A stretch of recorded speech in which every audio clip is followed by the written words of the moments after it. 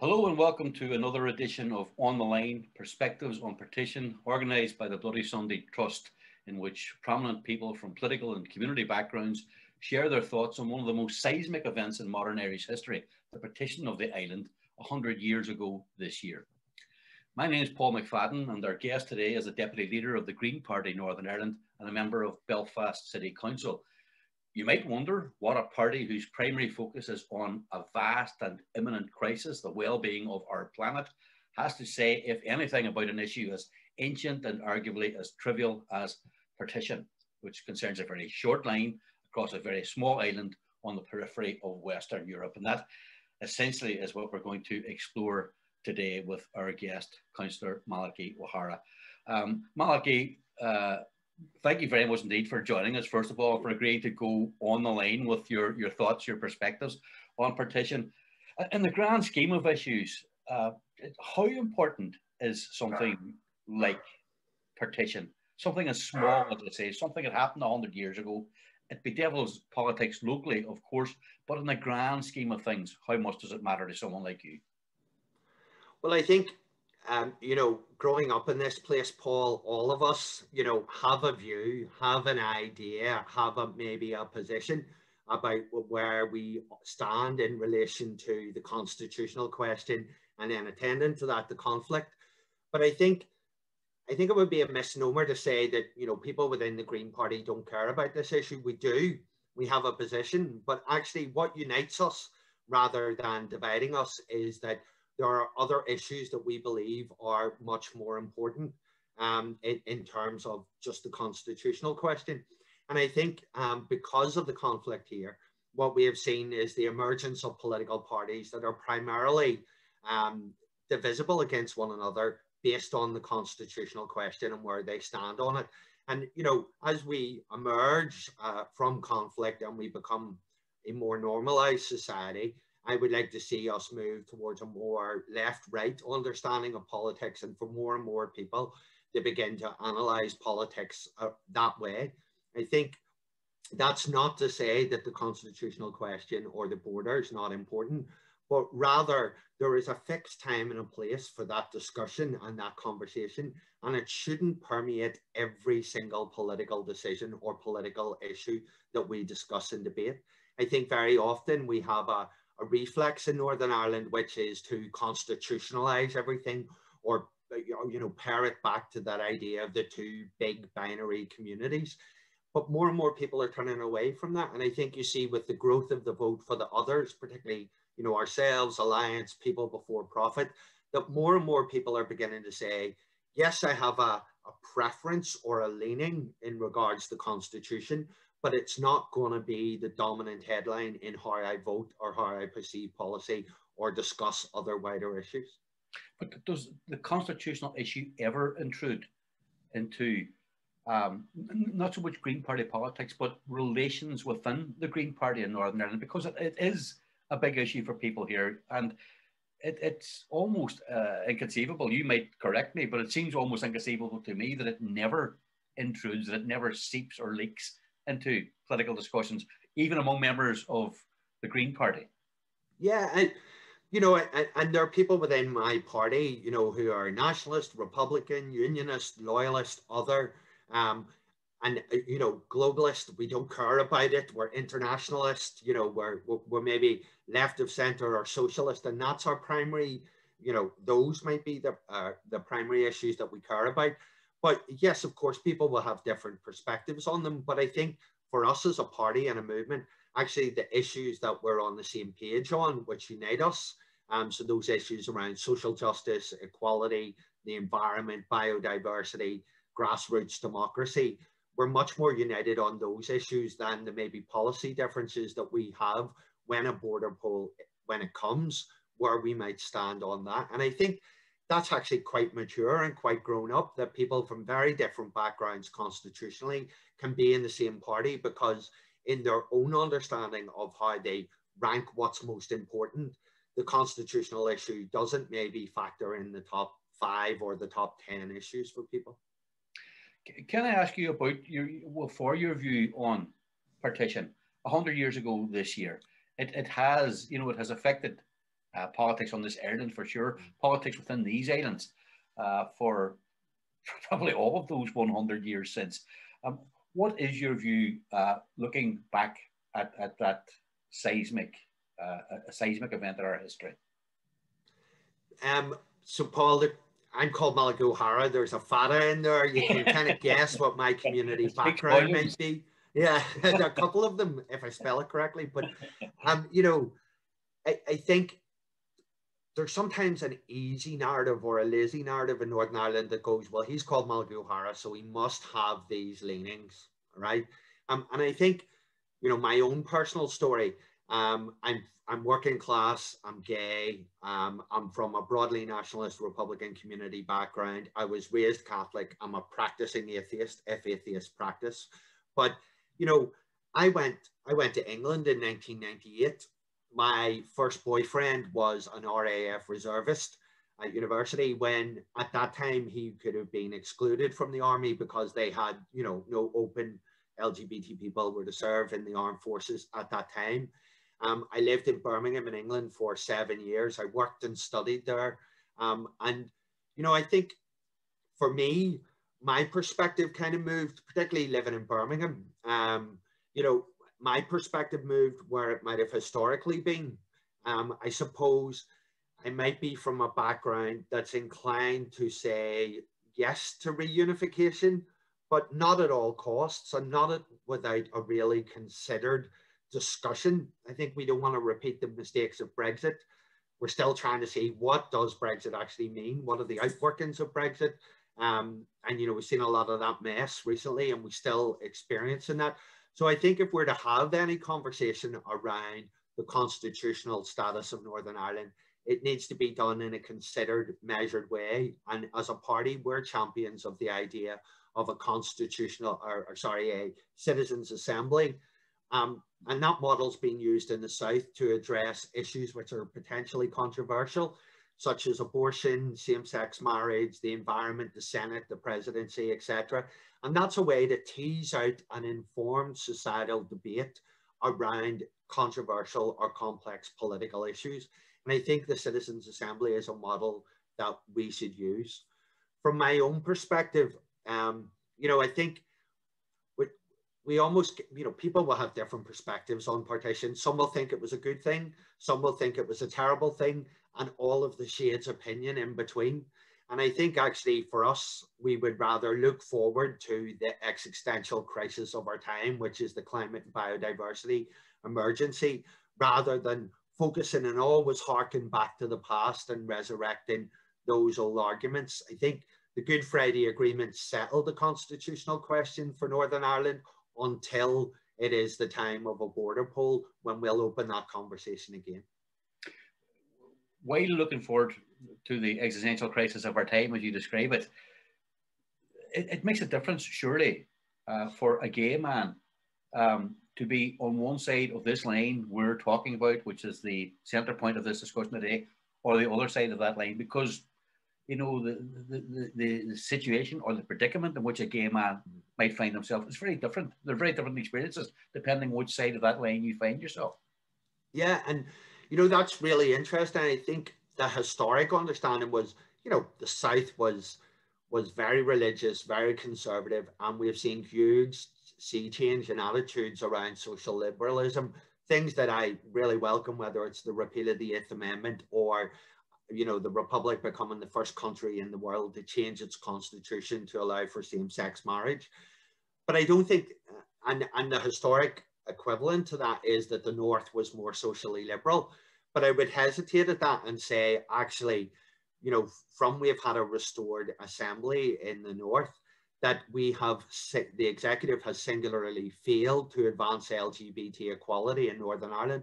All of our rights are, have come from extensions of Westminster legislation or through court battles. Um, so in Northern Ireland, you know, one of the things I'm proud of is the LGBTQ movement here in terms of agitating for our rights, being resilient in the face of adversity, and, you know, seeing very limited progress from our local devolved assembly, but still campaigning for change. And I think that's something I'm proud of in Northern Ireland. Um, I think Uh, we've caught up in marriage in the north. So, you know, the issues, whether I was born on one side of the border or another, I'd still be facing them. There are issues around hate crime, health inequalities, access to goods and services.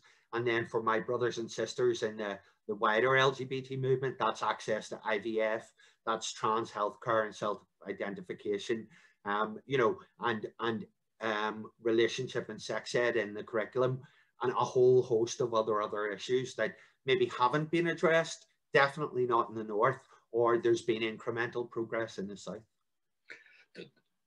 Uh, I wonder, does the fact that any of the, the major gains that you have seen in, in recent years, that they have come uh, uh, at, at the behest of, of London, essentially, is that a kind of an argument for continued membership of the union? you know, because I mean, we, I think we're possibly a long way off um, seeing the day when uh, a 32 county Ireland and whatever gays it may or may not arise would address in a meaningful way from your point of view the kind of issues that, that you're that you're focusing on. Yeah, I, I, and I think people who are pro-union have missed this trick. I have been saying to my unionist colleagues and friends, you know, um, I think there's there's evidence from uh, Paul Pugh's research from the Liverpool uh, Liverpool University about you know people under 50 who are broadly unionist background are more socially liberal than other cohorts of demographics in Northern Ireland. But unionism is failing to represent those people. Um, and I think that's why over recent years you've seen a drift to people voting for whether it's the Greens or Alliance, who are traditionally unionist community background. Um, I think, and that's because when you look at unionism, it's writ large that it's social conservatism.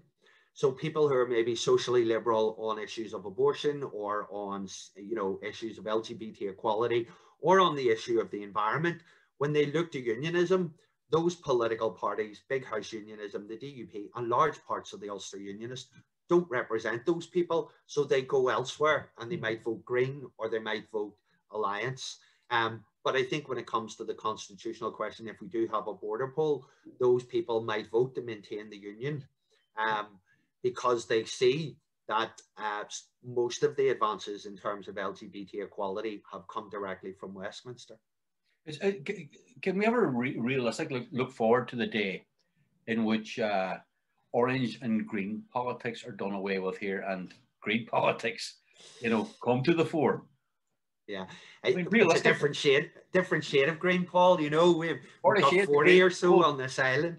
Um, I mean, look, I, I, I don't ever want to denigrate the importance that people put on the constitutional question. I, I think that would be dismissive.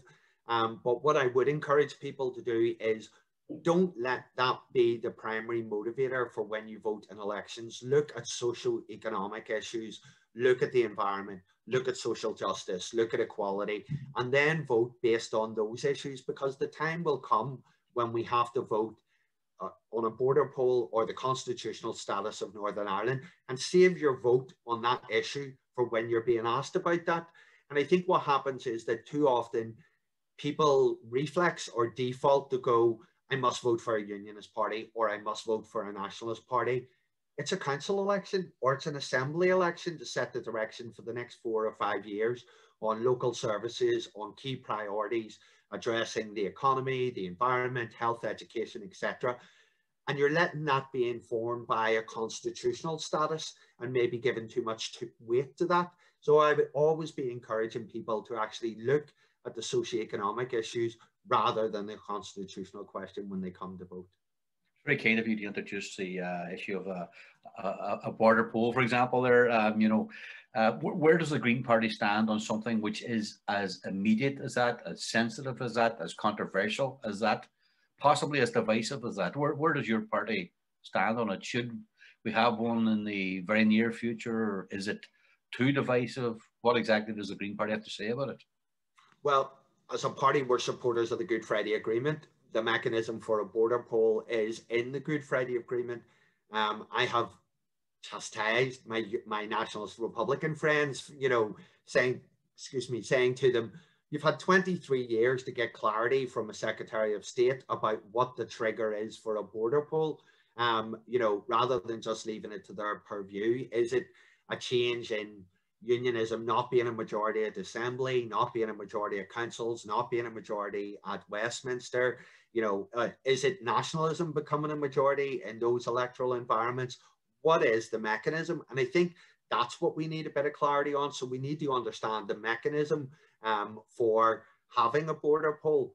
Um, and I think, you know, that goes back to the Good Friday Agreement. And I think um, as we would prefer that that's done at a grassroots level. We, we're a party that supports grassroots democracy. Um, and that means that decision making should be made at the most effective, lowest level. Um, and that's not currently where we are. So I think what we need is that space for the Citizens Assembly to begin having these informed conversations, Paul, about when does a border poll happen? When should it happen? What does the question look like? How, you know, is it a simple majority? Is it a weighted majority? You know, all of those type of questions, I think need hammered out from a societal um, perspective. I think what we've seen over the last 23 years is a political process rather than a peace process. We've seen the Good Friday Agreement changed. We've had, you know, uh, St Andrews Agreement, the Stormont House Agreement, Haass, uh, Stormont, you know, Fresh Start. I can't believe it's not a fresh start. You know, all of those agreements have been vested political party interests sitting down, hammering out something that suits them and changing the Good Friday Agreement rather than going back to society and saying, how can we plot a way forward which brings as many people with us rather than just serves the interest of those big political parties? With the benefit of hindsight, is it a weakness in the Good Friday Agreement or the Belfast Agreement that it wasn't more specific um, on the uh, circumstances that would, or the conditions that that would, I suppose, require a border poll to be taken. I mean, there's so much power vested in the Secretary of State, whoever she or he happens to be at the time. It's it's within their gift whether it happens at all or not. They have to be convinced that there's likely to be, or possibly going to be, a change. Yeah, and I think you know, at the time of the Good Friday Agreement, I think it's fair to say that there were creative ambiguities in in the agreement, um, and that's part because we had to get what we could over the line with as much consensus around it as possible, so that we could begin, you know, to take forward the peace process, to end violence, to you know, um, to to bring locally devolved institutions which were accountable to the people. Um, you know, we did that whether it was on victims and survivors. We did that, um, you know, on, on a on a range of other issues because they just simply couldn't be solved at that time. So I think it would be churlish to look back and say the agreement wasn't perfect, but it was the best deal we could get at the time. And that's why we think as a party, a citizens assembly, to look at that. Um, you know, we were we were promised integrated education. That hasn't happened. We were promised a prosperity. Um, that hasn't trickled down. The areas that were deprived in 1998 are the same areas that are deprived, and lots of them in my area of North Belfast and you know up in Foyle as well. Um, we haven't seen that kind of economic dividend for people, which would help move us out of conflict or that phase of conflict. So I think we would be championing going back to the idea of citizens' assemblies to reinvigorate the Good Friday Agreement. And if we need to make changes to it and move forward on some of those creative ambiguities that we had, then that's the process to do it. Rather than putting the power in the hands of vested political parties and interests, put it back to people and actually get as much consensus as possible to go forward. The change can occur, you know, um, as a result of, of um, changing within demographics and stuff like that. And uh, sometimes, of course, that can be almost glacial or it can feel glacial. But it, it's interesting you speak to groups of young people, um, they, they seem in a different place. And I'm not sure what your age is, Malachai, but I mean, I'm, I'm a 60 year old man and they're in a very different place to me, if I'm being honest, you know. Mm. And I wonder if the kind of what, what many people of my generation might regard as very liberal uh, kinds of uh, political developments or people others might describe as very progressive. Are, are those things inevitably going to happen as a result of demographic change or, or does something happen to young people at, at, at, at some point in their lives where they, they kind of move into the kind of trenches that people of my generation occupy? I think it's an interesting question, Paul. You know, there's that old adage that we drift to the right as we get older. I, I don't know. I, I seem to be drifting further left myself. Um, which you, you know is interesting. Do you know? I, I, but I think um, in terms of young people, um, you know, I, I, have the privilege that my background's youth and community work, and um, you know, until this time last year, I was doing some sessional youth work, um, which was around good relations and peace building. Um, and, you know, young people are a bit more. Sometimes some young people are morbidly fascinated with the troubles and what was it really like, and was it really that bad? But the, there's almost a nonchalance sometimes from them that's about, you know, they think people are a bit old-fashioned or a bit ridiculous you know, you hear those things people say still, you know, I'd be wary walking across or through that estate to get to somewhere because it's seen as the other side's estate. Young people have a lot less inhibitions around those now. There's still certainly some areas where young people are wary. Um, but generally, young people associate much more with people from different community backgrounds than people maybe of my generation or yours did, Paul um, which is a really good thing. But I think there's a fundamental feeling here, um, you know, and I would be critical of the NI executive in terms of how they've driven forward more integrated communities. You know, we have the T:BUC strategy of um, uh, good relations. Um, and it, you know, one of the main things it does is the summer camps, and that's bring young people away for a week, get, you know, get them together and expect magic to happen but then we send them back to segregated communities and segregated schools. So I think what we really need to do is ramp up that um, shared housing and shared schooling, which will really move us forward in breaking down boundaries. Um, I think young people are much more socially liberal. I think they're much more clued in about the environment.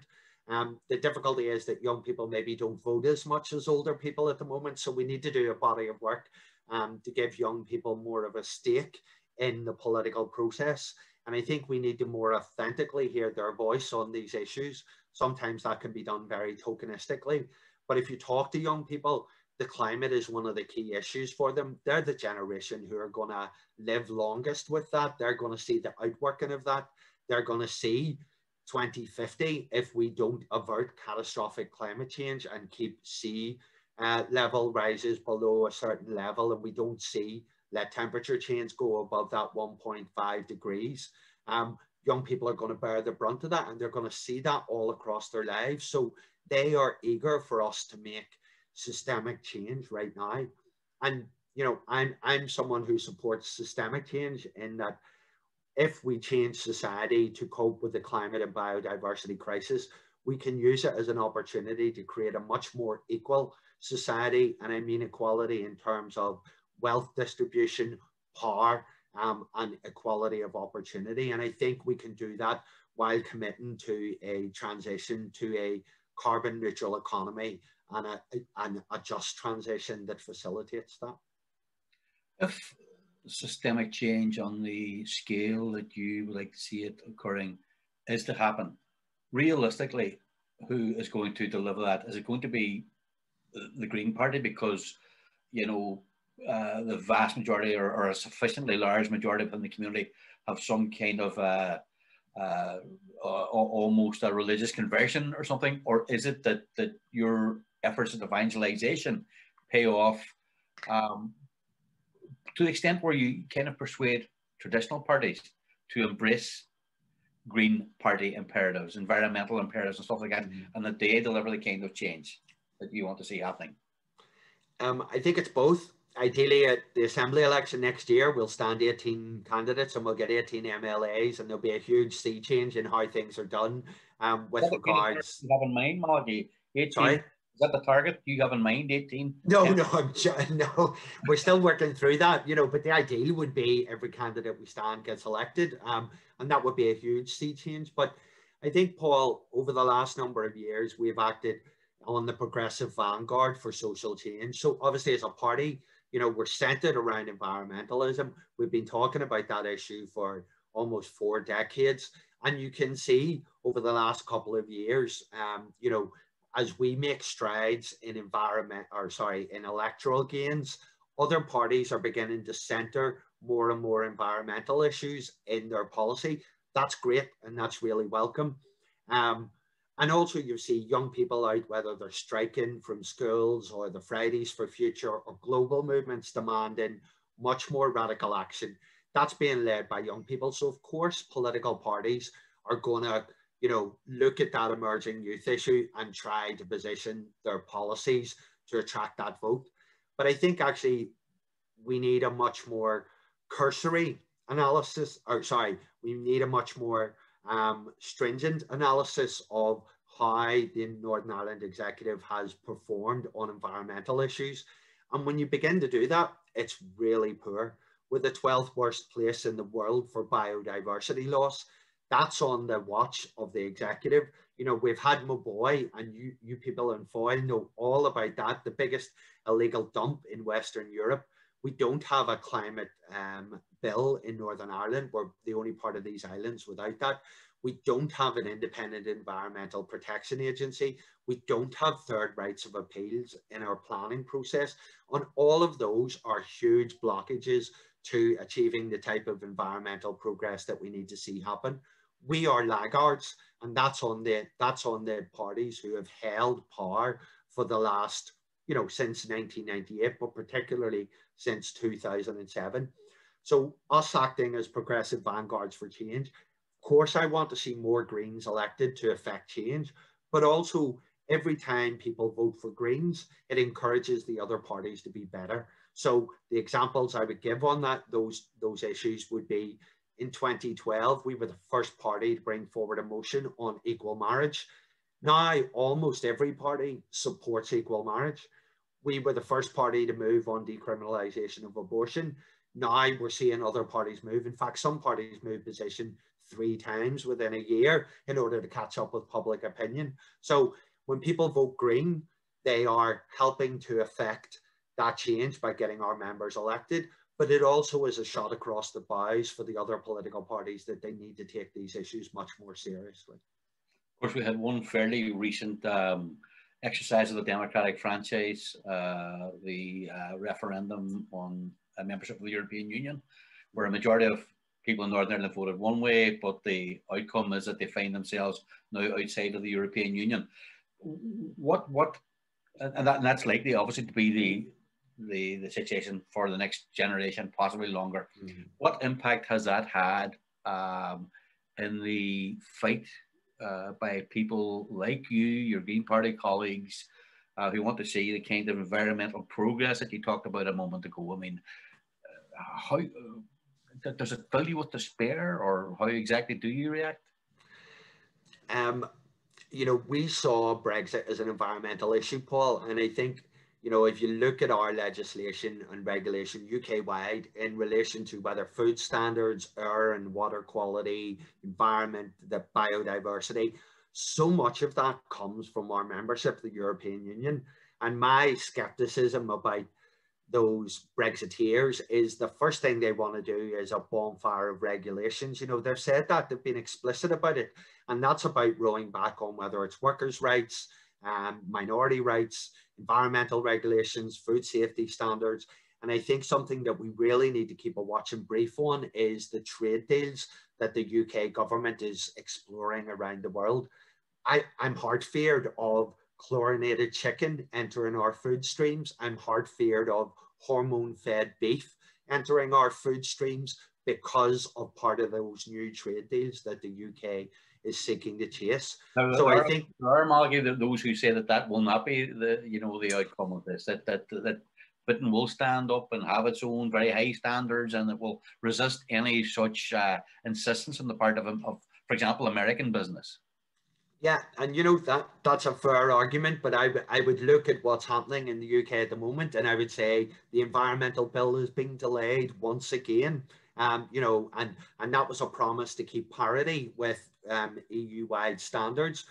But why are we delaying a bill if we if we want to to have parity? That obviously makes me suspicious, and I I wouldn't trust a Tory Prime Minister on the issues of environmental regulation um, or food safety standards. Um, so, so I'm really concerned about that, and I think we really need to keep a watching brief on it. I would hope that actually pressure through our own NI Assembly would see us maintain many of those standards, um, but I don't. Um, I don't necessarily think that the indicators are good. If you look back at the NI executives going for growth strategy, that was about moving away from our traditional small farm holdings or family farms or small businesses and actually moving towards a more industrialized um, farming model, which is about export markets. So we can ship pork and chicken, particularly to China. And that leads to an impact on our biodiversity because of the ammonia emissions that can come from agriculture. So I'd be really concerned about that as well, Paul. It's amazing. We've kind of been talked about issues that have evolved over the course of the last 100 years. And I'm thinking that the world is going to change so much, uh, maybe more dramatically, not the next 100 years, the next 10, the next 20 years, the growth of mm. China and India and all of this, you know, uh, we don't know what's going to happen with the UK um, over Brexit and all of that. But the one thing we have learned in the, la- in the, in the last half hour or so, uh, Maggie, is that, that the Green Party may be most concerned about uh, the, the, green issue and the well-being of the planet, but you have views on so many other issues that, you know, from the global down to the very local, all politics are local and all that. Mm-hmm. But thanks a million for joining us and for sharing your views on uh, on partition and on everything that has ensued from that uh, decision 100 years ago. And uh, it's been an education talking to you. So, Councillor Molly well, O'Hara, thanks very much indeed for, for joining well, us here on On the Line Perspectives on Partition.